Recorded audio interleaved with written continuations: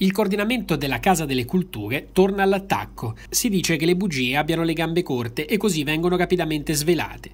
La giunta comunale ha chiuso l'esperienza della Casa delle Culture a decorrere dal 31 maggio.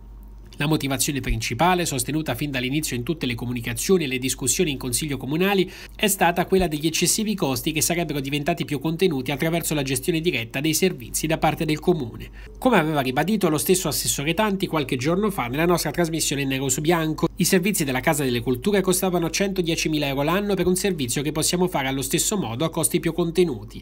Adesso la Casa delle Culture chiusa, dicono dal coordinamento, penseranno gli aretini, quindi con i servizi gestiti direttamente dal comune comune e i soldi si risparmieranno. Ma con la delibera 301 del 31 maggio scorso la giunta comunale ha affidato il compito di gestire alcuni dei servizi presenti alla Casa delle Culture alla Fraternita con un'apertura dello sportello al pubblico inferiore a quella precedente 24 ore settimanali contro le 33 precedenti a un costo di 101.870 euro annui. Si è realizzato, secondo il coordinamento della Casa delle Culture, un piccolo risparmio, ma il costo resta sostanzialmente analogo a quello precedente.